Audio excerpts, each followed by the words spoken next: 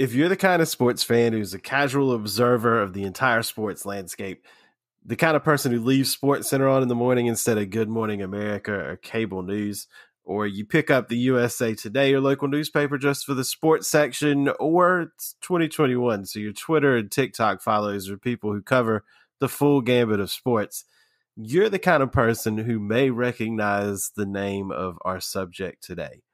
You know his name from awards, and you may conjure an image of the stadium that bears his name.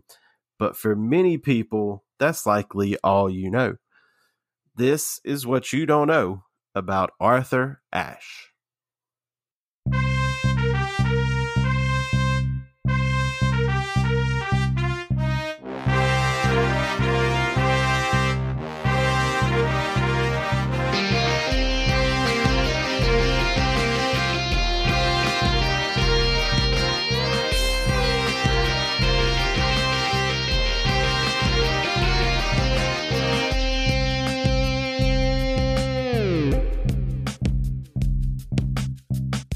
Welcome to What You Don't Know About Sports, where we delve into the forgotten stories, teams, and athletes of sports history and question widely held takes on today's sports. I'm Matt, and this is Blake. Hiya.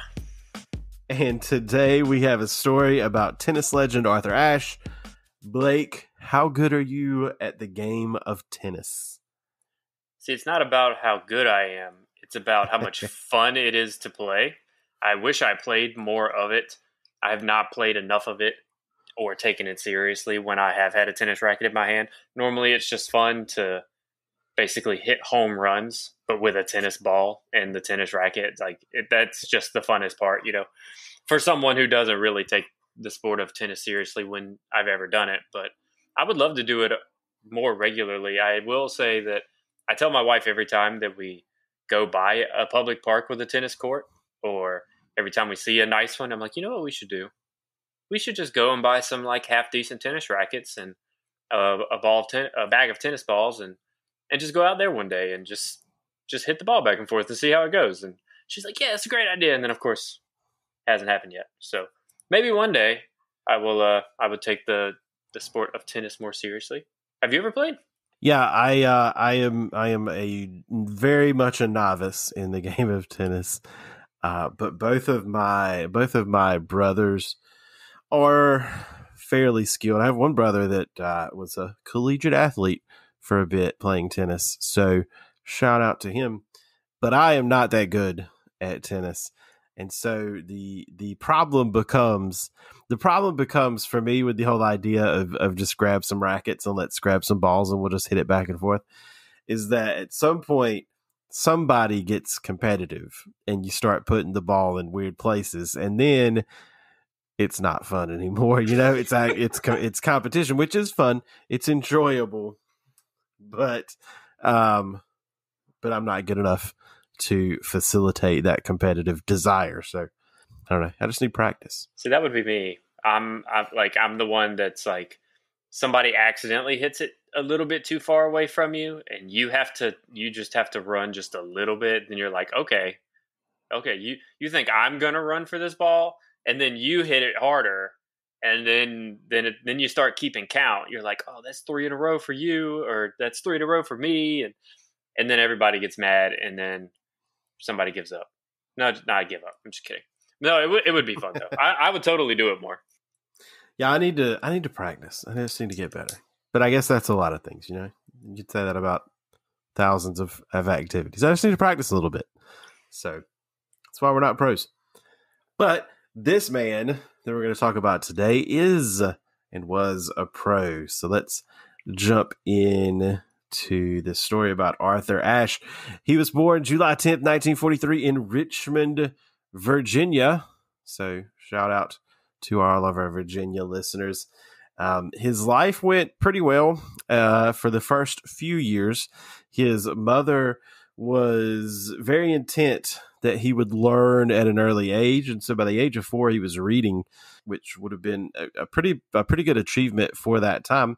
And uh, things were going well until the age of six. His mother actually passed away when he was just six years old, and as a result of that, his father kind of brought in some discipline, extra um, kind of strict discipline into the home to try and keep his children on the right path.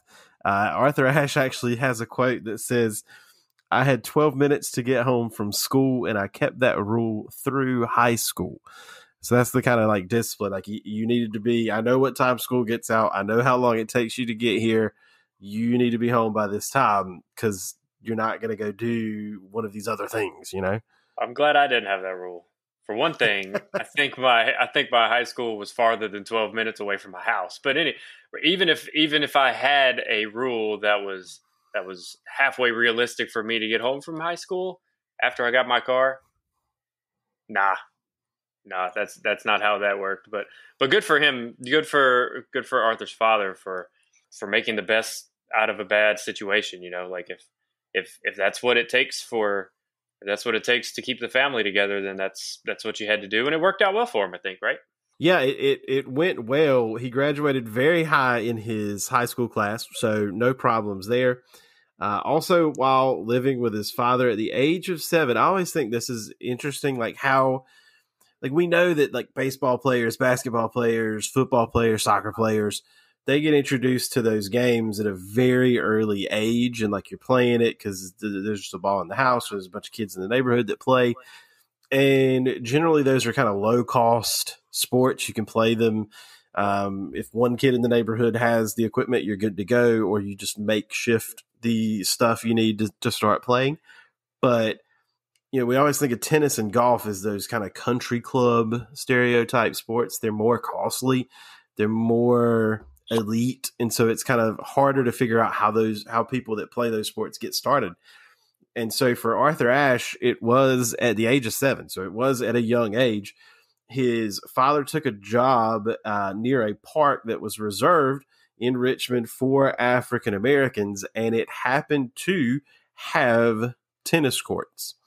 So while hanging out with his dad at work or just looking for something to do while his dad was working, he would go to the park and play tennis on the courts that were there. So he does have kind of that that normal uh, introduction to the sport. In this case, being tennis. So I think that's cool that that even he kind of looks like his dad. Even even when he's working, he's he's thinking about you know how do I make sure the kids have something productive to do um, while I'm working. So I think that's cool too.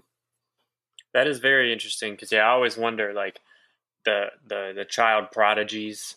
Like, did they? How did they get started? Like, was it was it forced? Was it was it like a forced labor kind of thing? Like, you, my favorite sport is X, and you as my child, this that's the sport I know the most about. So I can get you started at that sport at the youngest possible age, and and like part of me thinks that a lot of time that could ruin a kid because like you, you at some point you got to just you got to let them make their own decisions. You can't be real forceful about it but at the same time if it's something that they're showing interest in and i'm sure that that arthur ashe had an had an interest in tennis it's meant this wasn't one of those forced type situations. So i'm really glad it worked out.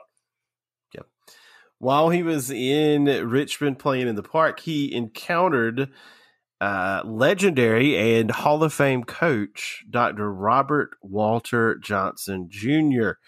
Johnson was a coach to another very important African American tennis player, Althea Gibson. She was the first African American champion of Wimbledon.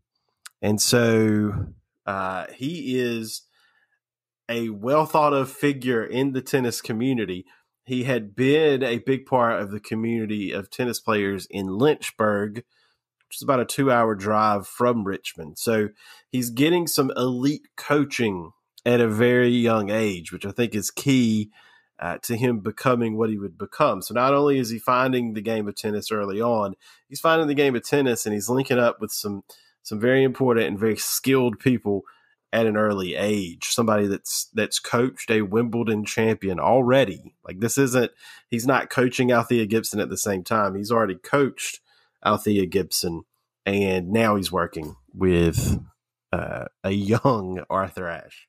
I need somebody like that to show up at my city park because I'm just gonna I'm gonna walk over with my kids and just sit them down and be like, watch and learn. Just let them let them have a minute, you know. That that's also how it starts. They have to they have to be introduced to it. They have to they have to show an interest in it, and they have to have somebody who knows a little bit about what they're what the sport is about to to be able to guide them from a very early age and to be able to see if, see the potential in the child. So uh, that that is that's crazy that that's how that's how he got his start was was with with with a with a coach who has already coached a a Wimbledon champion.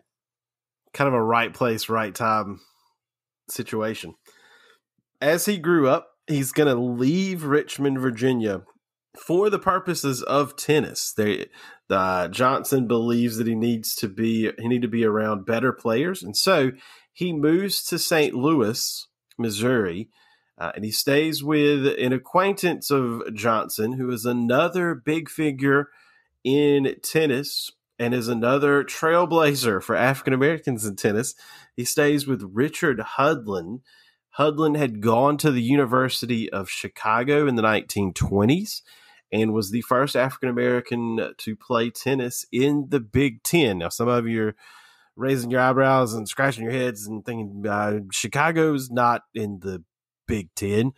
They don't even play sports, I don't think. And so that may be true today, but in the 1920s, Chicago was a member of the Big Ten. If you if you look at the um, whatever association it is that all those Big Ten universities are a part of, Chicago's a member of that association too. And so when they were playing sports, they played in the Big Ten.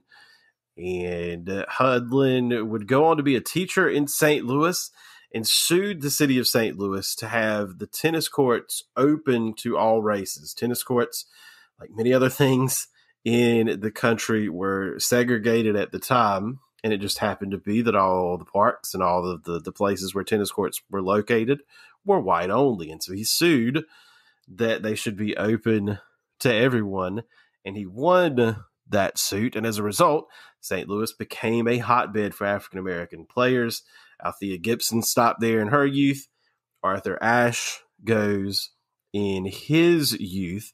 And it's there that, under the tutelage of Hudlin, that Arthur Ashe cultivates the style of serve and volley uh, which you don't see very much. I do know enough about tennis to know this. You don't see that style very often today. It's mostly just you know rip a serve and then they stand on the baseline pounding the ball back and forth until somebody screws up. Uh, you don't see a lot of people just serving and going straight to the net, but Ashe did, uh, and, and that's where he learned to do it. It's a style that's going to serve him well. And also there in St. Louis, he appeared in Sports Illustrated. I remember that was so cool to be in Sports Illustrated. Uh, he was a face in the crowd. So that was a section that they ran every week that highlighted high school athletes, maybe some JUCO or, or college athletes you may not have heard of before, and just kind of talked about him. He was highlighted there in 1960. And then he graduated first in his class in high school. So, like you were saying, all this stuff worked out. The discipline worked out for him. So he's he's good at school and he's good at tennis as he graduates high school. You you have to love these stories where it just works out for some people. You know, like people go through some of the worst things and then like like like his mother dying when he was only 6 years old. I can't imagine he ever had that much memory of her because he was 6 and and now he's I mean kudos to his father because to to send your son to another state at that time in like the 50s to send your son to another state to trust this dude who has coached a Wimbledon champion before co- to trust him enough to send him not with him but with somebody he knows in a, in multiple states over in one of the biggest cities in in the country to let him go and learn tennis there. Then Hudlin sues the city to give access to tennis courts for all African Americans in the city, basically.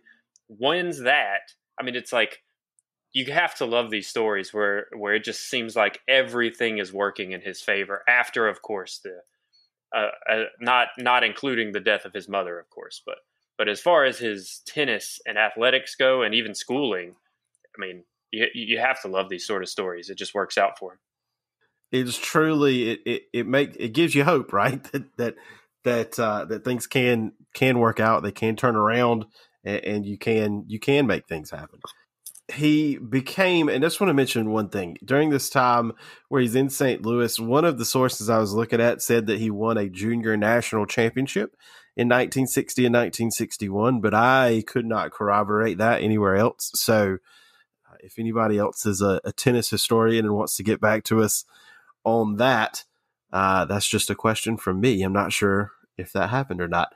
But he did move up to become the fifth ranked junior in the country by the time he graduated high school and went to school at UCLA. While he was there, he won the 1965 individual national championship in tennis. And so, naturally, as a result of that, was a key contributor to UCLA winning the team's national championship that year as well. So he's an individual national champion. He's a team national champion by the time he ends his college career. One other interesting piece there, there he's also going to become the first African American recruited recruited to the Davis Cup. And if you're unfamiliar with the Davis Cup, this is kind of a team tennis competition that would essentially be the World Cup for tennis. Our best tennis players group together, play head to head with some you know one other country in kind of a tournament format to see who the best country is at tennis. It's less of a big deal. It's kind of the it's more of an equivalent of the Ryder Cup or the President's Cup in golf, but I think those two things both get more uh, coverage and in high level participation than the Davis Cup does. But at that time, it w- it was a big deal for tennis uh, to have these these countries competing against one another. So there you go, another another achievement for Ashe uh, early on in his career you mentioned in the open how unless you really just like if unless you're the type of person who leaves SportsCenter on all day every day or listens to ESPN radio or sports radio all day every day, you you may not be aware of anything other than the award in his name if you were even aware of that, which is it's fine if you weren't, especially if you're of our generation where he he passes away at a fairly young age for himself, but also very early on in my life too. So I never got to see him play tennis, but you may not know of of anything that he did on the court. You may only know him for the Arthur Ashe Award for Courage that's given out at the ESPYS. And you don't get that award by just being an advocate. You have to also have been good at your craft if you are an athlete slash advocate. Like if if Muhammad Ali wasn't who he was in the boxing ring, what he said outside of it, no one would have listened. But because of how good he was, and this is the similar situation is now I'm starting to understand. I didn't know that much about his tennis career, like most other people.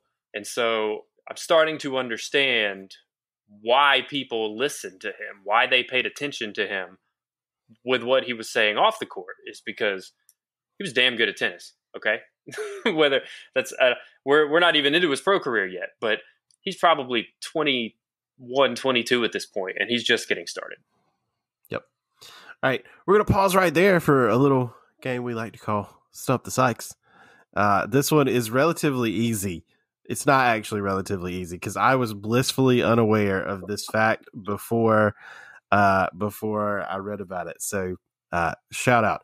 So not real sure how we're going to play this, but we're going to give it a go. So in most tennis tournaments, there are three surfaces that you play on or could play on. There's grass, famously, you play on at Wimbledon. There's clay that we get on at the French Open. Then there's the hard courts that you play on at the US Open and the Australian Open. However, in the 1950s, the 1960s, even earlier, there was one other surface that people played on in particular, this one was featured heavily in St. Louis, where Ashe was. He learned this serve and volley game on a very special type of court. I guess you could have 10 questions to try and figure out what this surface was. Can you tell me Okay. the fourth type of playing surface for tennis? So clay, grass, Yep. and hard Yep. court. Yes. What would they have used in the 50s Yeah. for tennis courts?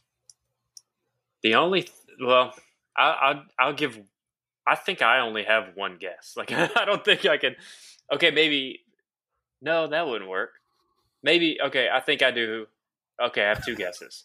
Man, Okay. it's like rattling my brain. I'll just, ha- I got two, I don't know of any other way to narrow down like Okay. surface playing types. But, oh no. So I'm gonna guess asphalt.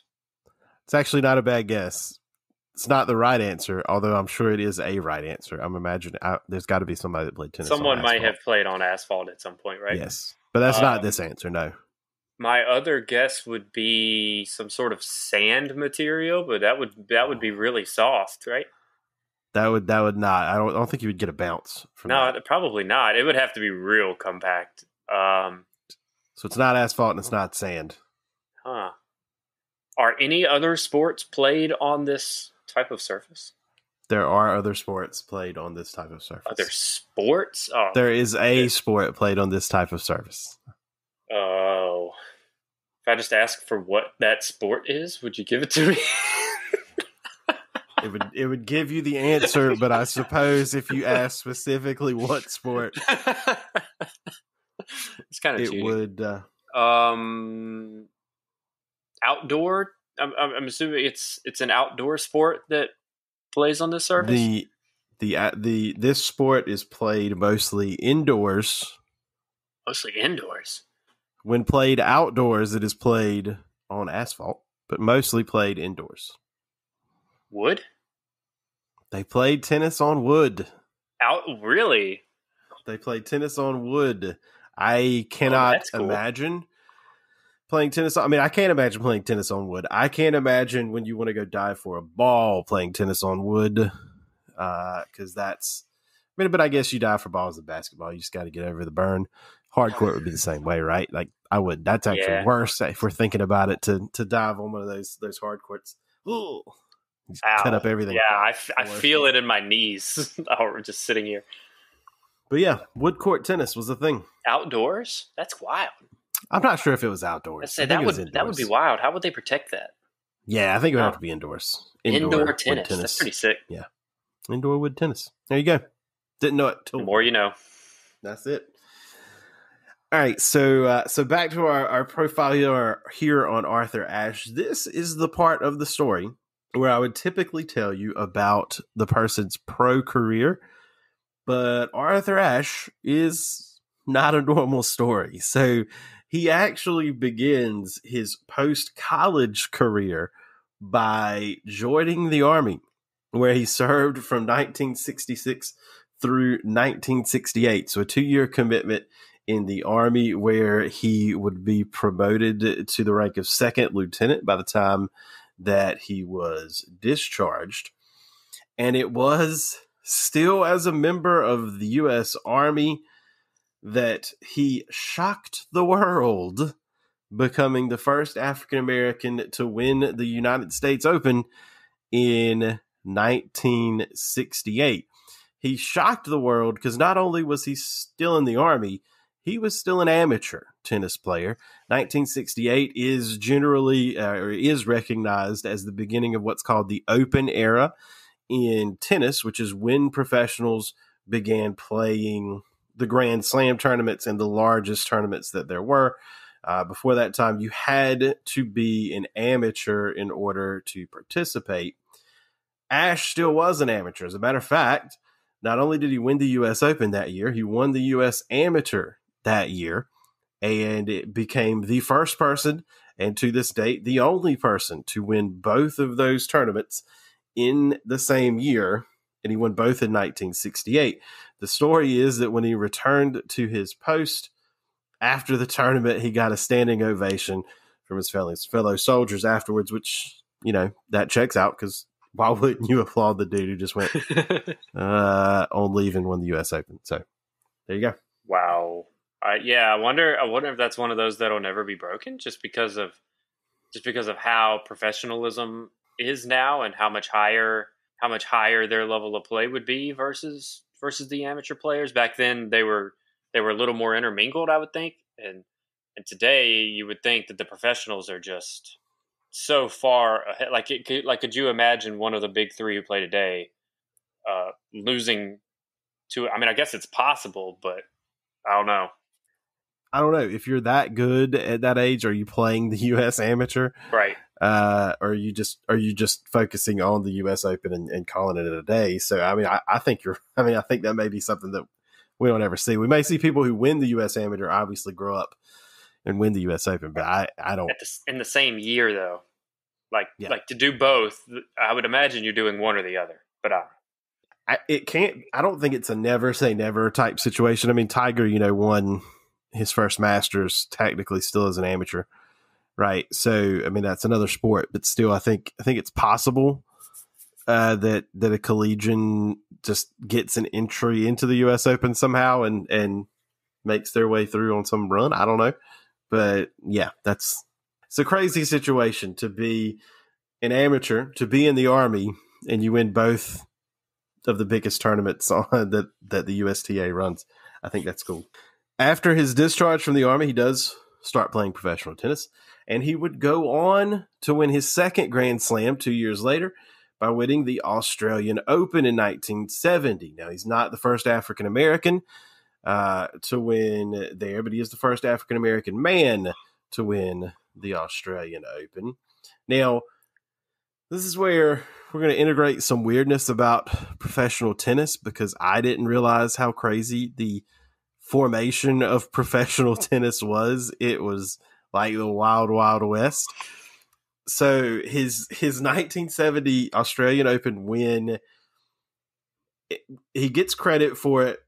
Shouldn't be diminished, but the best players in the world all weren't there. Some uh, of the best players in the world were barred from playing. Some had boycotted playing in the Australian Open because in the immediate uh, beginning of the open era, several different organizations tried to show up and run professional tennis.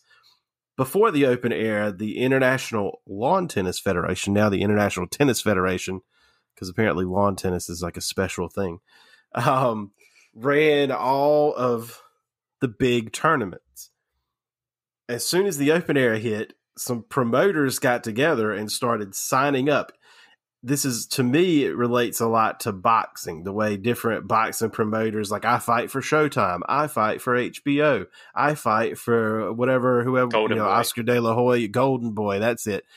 And so you only fight people either in your promotion or, uh, you know, if they're outside of your promotion, you have to like jump through 85,000 hoops and there's eight different or four different groups that you know hand out championship belts. It's just disjointed and confusing. That's how professional tennis was. There was a world championship tennis. There was a world league tennis. There was a national tennis league. Uh, there was a world team tennis, which still exists to this day for like a novelty, a kind of older player uh, thing. But all of these organizations started contracting players to only play in their event. So you may go to a tournament and it's a world championship tennis event. You're only seeing WCT players there. go to a national tennis league event, it's only those guys there. And so the International Tennis Federation started getting like shaky about this and started being like, uh, those guys can't play here. Those guys can't play here these people can't play here. Oh, you turned down the Davis Cup to go play in one of these events, you're out. And so it started to have, we started to get like even slams have fields that weren't filled with the very best players every single year. And this actually leads into another thing that Ashe did. So he was a member of World Championship Tennis. We're going to leave, I think, what may be our fourth or fifth shout out to this person. World Championship Tennis was run by Lamar Hunt. He keeps coming up, right? The inventor of the, the name, the Super Bowl. Uh, he's been in a couple of other of other episodes, and uh, so he was there. Eventually, he would group up with uh, a group of other players to create the Association of Tennis Players, or ATP, which, if you know anything about tennis now, it's the ATP Tours. That's an organization that's still running today.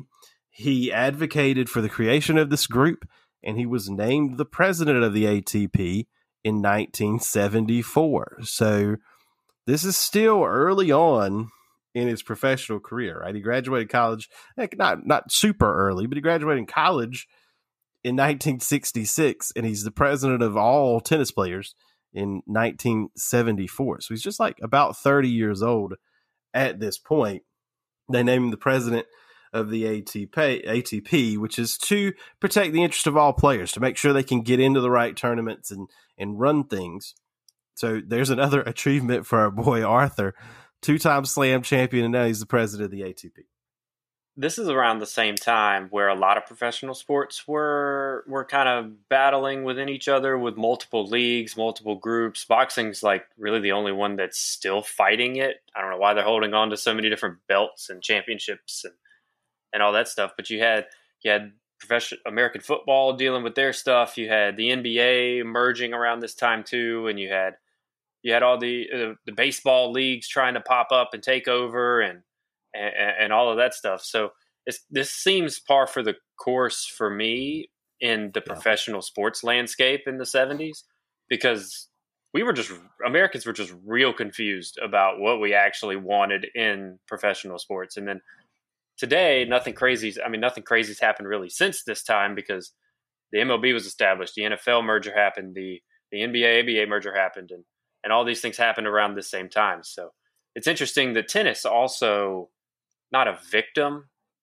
because it wasn't necessarily a bad thing. They were still sorting themselves out, but it seems that it seems that he joined and became the president of the one who would last. It'd be like the first commissioner of the NBA, who like made the merger, who led them to superiority over the others, and and and went on and lived in history, kind of thing. Also, we're definitely not going to have to do an episode on Lamar Hunt because we've mentioned him so many times that I think we. I keep thinking we know everything that he's done and everything he's touched, but clearly I'm wrong. So maybe we will. Maybe we will have to talk we'll just, about him one day. We'll just do a super cut of all of our Lamar Hunt references and then stitch them together, and there there will be our episode. Now, um, this leads us into the 1975 edition of the Wimbledon Championships. It was Ashe's ninth tipped at Wimbledon, and he came in as the sixth seed. This is a pretty good story here. He reaches the final against Jimmy Connors, and there's a lot of of kind of background and context to this uh, final matchup. Ashe had never beaten Jimmy Connors head to head in any match at any point in his career. He had never beaten Jimmy Connors. Connors came into the final having ne- having not dropped a set in the tournament so far. He'd played six matches. He'd won all six in straight sets. So He's looking to do something that only a handful of people have ever done in, in winning a slam without dropping a set. Connors was also in the process of suing the ATP for $10 million because they had just left him out of the French Open. Uh, he was part of a deal where he didn't play in the Davis Cup. And so they said, You're not playing in the French Open, then sorry. He was also suing Ashe himself for $5 million for libel because Ashe had done some as as the head of the ATP. Uh, he had done some interviews criticizing Connors. So we got a lawsuit going on. We got a Connors looking for history, and we've got the fact that Ashe has never won. And Ashe went full petty for the whole situation. So he wore red, white, and blue, uh, all American stuff uh, onto the Wimbledon court because it's an all American final. So he's playing into this. He wore a Davis Cup warm up jacket onto the court and anytime he could. And he wore it after the match. And in the match, this is where the, the serve and volley style that I was talking about comes up. Uh, the, the people who reported on the match said that it was kind of a virtuistic, virtu, virtuoso, virtuoso. What is the, what is the action of being a, a virtuoso? Who I think, knows? Uh, yeah, I'm not sure. I don't want. I'm not going to be wrong on international radio. Internet. You know what it is? Shout out to our listeners in France. You know, it is. I think it's virtuistic. Virtue, whatever. He was a virtuoso that day on the tennis court. um, he was just playing all kinds of shots, lobs and slices, and just putting the ball where Connors couldn't do anything with it. Uh, and he was just at the net, just all over the place, protecting. And he ends up winning the final. So, what does he do for the trophy ceremony? If you know, if you know in tennis, the trophy ceremony, the the runner up gets the runner up trophy, and the champion gets the champion trophy. Right? It's not like golf where the guy that finished second just disappears and goes home. The runner up's still there, so he puts back on the Davis Cup warm up just so he can show off to Connors some more. So it's just a, it's kind of a cool story where he's like, "Oh yeah, you want to sue me? Sue this."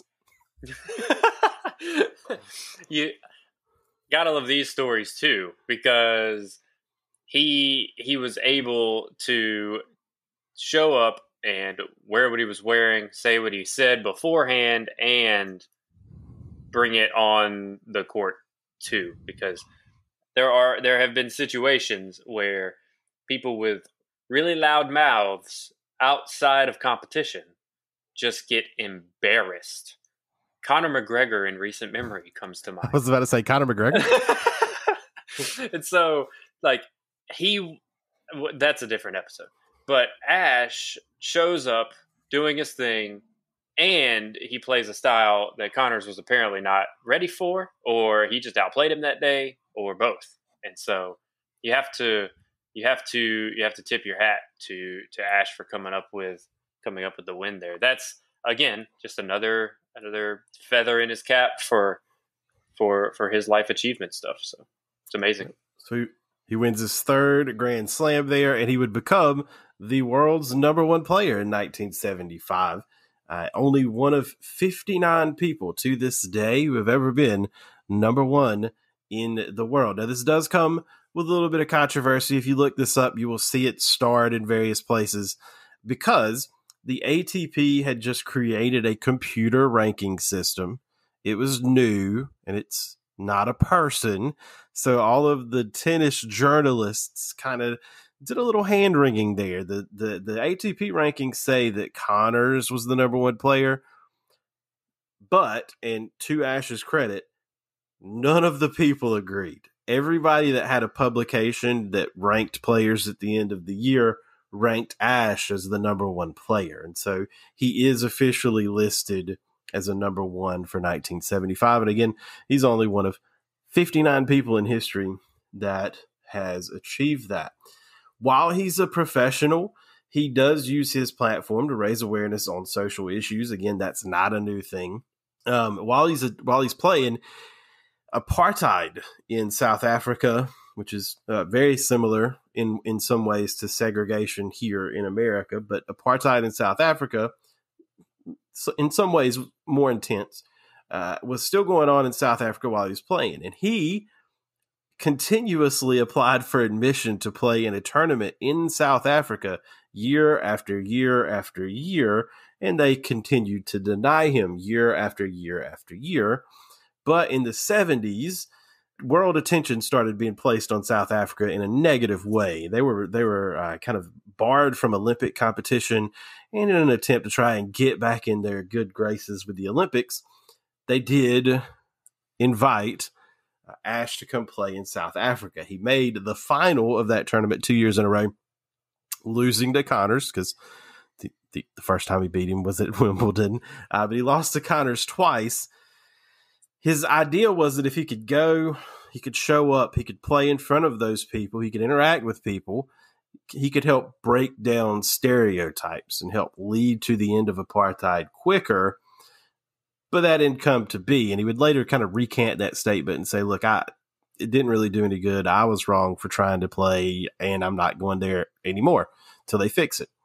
Uh, and he he would continue to have success. He actually won uh, the French Open in doubles in 1977. But in that year, he suffered a heel injury and because of the lack of playing, because of the recovery, it was kind of an intense recovery period. He fell down to the triple digits in the world rankings. He was number one in 1975. By 1977, he's in the triple digits. Eventually, he did recover, and in 1979, he shot, and this is at the age of 35, too. We're talking about 1979 medicine now. So it ain't 2021 where we've got what like these fantastic surgeries with with increasingly small you know recovery times. He's 35 in 1979. He fought back and climbs back to number 13 in the world rankings in 1979. He became the ATP's comeback player of the year that year, but then he had to retire. He actually suffered a heart attack in a clinic, given a clinic, suffered a heart attack and he had to have a quadruple bypass. He's only 35 years old, which is crazy. He's 35. He's an athlete, world class athlete. But remember, his mother died early on. She was actually only like 27 years old. Um, so, and had died of a heart attack. His father had had his first heart attack in his 50s. So he's got a history of, of heart disease, which is, you know, just another terrible thing. Uh, and so he had, you know, he had a heart attack at 35 years old and had to retire from the game of tennis. You really hate to to see things like this ruin a professional athlete's career. And not to say he was 35 already, and but he did come back after that heel injury and shot all the way back up and became the comeback player of the year that year and you you you still always have to wonder what if, right? you always have to go through that in your head, and you think, well, if he hadn't if he hadn't hurt himself with that heel injury, fallen so far behind, or once he did get back up to 13, if the heel injury had happened, if if if he didn't have such a family history of heart disease and have a heart attack at the age of 35 years old and have to have a quadruple bypass, like what what could have been? He's already he's already won three majors, and he was he's been doing this his entire life. It's probably all he knows, and you just hate it for for people who have their careers shortened because of something other than them just wanting to go something something outside of just your desire to play the game anymore yeah. stopping you from doing it because you you just want to see you just want to see him them be great you want to see them continue to be great for as long as they can and then something like this happens and and it goes further than that because to your credit, you know, he fought back from the heel injury. He's actually he actually fights back to try and and make a comeback to tennis after the quadruple bypass. And it turns out in 1983, he needs to have a second bypass. So he's in the process. He's trying to train to, to at least at least be able to play tennis, at least be able to go out and do you know stuff uh, you know, whether it's, you know, a champions tour or, or give clinics or just play exhibitions, maybe not even if he doesn't make the, the pro tour again. But he has trouble. He has chest pain in 1983, and he needs to have a second bypass in 1983. But in typical Ashe fashion, he makes the best of the situation. He uh, becomes the American Heart Association's uh, campaign national campaign chairman. So this this is an issue that has affected him. So he throws himself into it, just like he had into his tennis career. Becomes uh, again the the campaign chairman for the American Heart Association. Uh, later on, about five years later, 1988, he suffered paralysis in his right arm.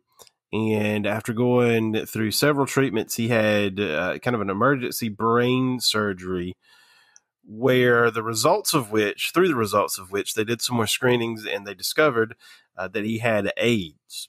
They believed that he had contracted the HIV virus from a blood transfusion that was actually performed during that second 1983 bypass. Again, AIDS at that point very new to the world, so not necessarily something. I'm assuming not something that would have been that was screened for, just kind of they didn't know. And so they just assumed that's where he got it from. But he used this, he used this to his advantage too. At first, they kept it quiet. Uh, there was a lot of stigma attached to being diagnosed with AIDS, especially in the 80s. He kept it quiet, but eventually went public with his diagnosis and led efforts at the United Nations to get the United Nations to fundraise uh, for potential treatments or cures and to convince members of the United Nations that this was a world problem that should be tackled by the world. So he's even using the platform he generated as this tennis player to do, you know, something about his current situation and not just his his current situation. Like we had talked about his his deal with apartheid, he was arrested in 1985. He'd had two heart surgeries by this point, and he was at a protest against apartheid in Washington D.C. and was arrested in 1985. And then in 1992, he's a person that's had two bypasses, and he he is stricken with AIDS. He's arrested in 1992 at a protest over the way the U.S. government was handling some Haitian refugees. And he was arrested in a protest again. So he's continuing to use his platform all over everywhere, uh, even after he's not a pro athlete anymore. Just a, a couple of examples there.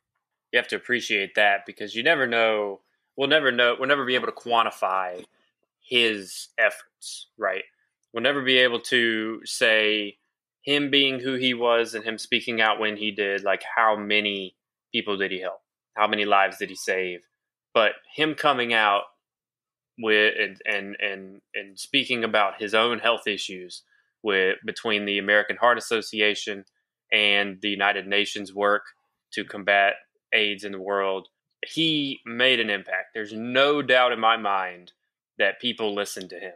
And it's because of how good he was at his sport originally. Like I said earlier, you no one's going to listen to someone who's bad at their sport about something else, right? I think of uh, I think of Maya Moore, who just recently won this award for giving up her basketball career, basically all time great UConn player, all time great WNBA player, giving up her career to fight for something she believes in off the court and her using her her using her platform that she successfully built over the years through sport made such an impact off the court.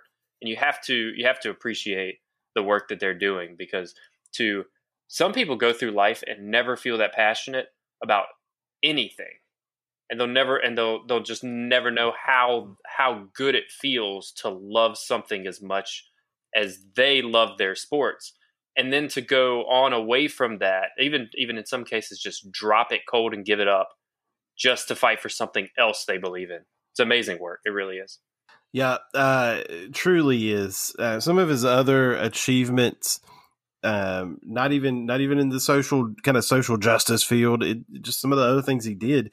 He created the national junior tennis league uh, which uh, obviously is to get young people involved in tennis he wrote a three volume work, not just a book, three volume work on African American athletes entitled A Hard Road to Glory. And that's something that was made into a documentary uh, later as well. He was named Sports Illustrated Sportsman of the Year in 1992. Remember, he retired back in 1979.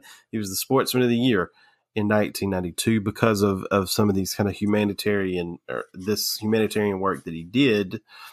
Uh, but unfortunately, he did pass away in 1993 as a result of complications from pneumonia. That same year, he was posthumously given the Presidential Medal of Freedom, again in 1993. We know that the that ESPN named their Courage Award the Arthur Ashe Award for Courage. We've mentioned that uh, before. And in 1997, a new stadium was built for tennis to house the U.S. Open. Uh, kind of center court for the U.S. Open is named Arthur Ashe Stadium. And it is, I didn't realize this till researching it. It's the largest tennis stadium in the world, and it was big. It seats almost, it seats 23,000, over 23,000. It's nearly 24,000. So it's essentially, it's an essentially an NBA or NHL arena that they, they play tennis in. And that's amazing to me. That's awesome. I wish I played tennis so that I could like dream of playing in Arthur Ashe Stadium. Uh, it's one of the the prime venues in the world, and it's named for Arthur Ashe. I want to see the stadium because I've seen it on television and, and, and not just for not just for tennis competition, but for other competition. And it is a it is a beautiful thing. Like to be such a large stadium built for tennis, largest in the world, right here in New York. And yeah. just for us to have that, I would love to see that. If I ever go if I ever go like touristy in New York, I, I, this is on this is on the list just to drive by it. I mean, just to drive by it, it's gonna look like I mean, yeah, like you said, it's gonna look like a basketball arena, not a tennis court. But there's a tennis court in there. That's the primary purpose, and it's been there for 25 years almost. And I don't think it's been renovated or anything. It's the way it sits now is the way that it was built, and I would I, I would I would really love to see a sporting event in there. But but um, law, uh, yeah. overall though learning about all of this, all of his stuff, like I said earlier, I think I didn't know nearly enough about what he did on the court. Only only some of the things that he was doing off the court, and that's why the the ESPY award comes to mind so prominently. But knowing I have a I have a totally different respect for him for that award, what it means because of everything that he did off the court and how good of an athlete he was at a time where in the 50s when he was just learning how to play tennis, a guy in the city of Chicago had to sue the city just to get African Americans ability the give the African Americans in the city the, the ability to use the city's tennis courts. He made it made it through everything, losing his mom at the age of six, all the way to all of his social justice issues, if you will, and all of his health issues that he spoke out on and did and did a lot of work for too. So really glad we talked about him because, again, I don't think he's. Uh, we I may say this at the end of every episode if we talk about somebody in particular, but he's not talked about enough. That's, just having an ESPY award isn't enough. Uh, some some final fast facts on Arthur Ashe. He is one of only 57 men in the history of tennis to win three or more Grand Slams. If you uh, include only the Open era, he's one of only 21 men to win three or more Grand Slams. His uh, 45 tournament titles are 16th all time, which surprised me. He's that high on the list. And his 793 match wins are 11th all time in the Open era and he was the first African American inducted into the Tennis Hall of Fame in 1985. And I'm going to leave you with one of his most famous and his best quotes True heroism is remarkably sober, very undramatic. It is not the urge to surpass all others at whatever cost, but the urge to serve others at whatever cost. Beautiful. We'll see you next time. Bye.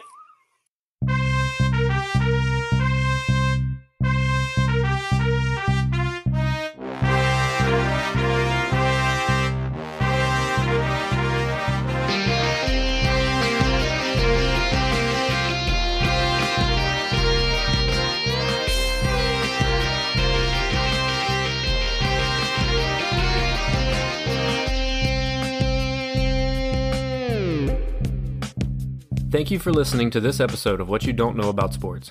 If you enjoyed what you heard today, please leave us a review, five stars only, please, and hit that subscribe button wherever you listen.